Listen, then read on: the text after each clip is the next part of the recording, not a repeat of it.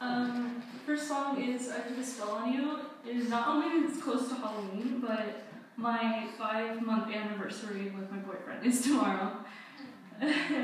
so um, the way he looks at me, it's just like I got a spell on him.